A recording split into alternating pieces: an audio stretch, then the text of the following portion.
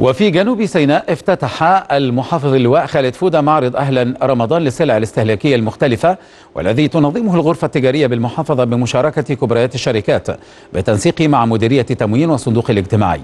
كما أكد المحافظ أن معرض أهلا رمضان يهدف لتوفير احتياجات الأسرة خلال شهر رمضان ورفع العبء عن المواطنين من خلال توفير السلع والمواد الغذائية عالية الجودة بأسعار مخفضة عن أسعار الأسواق.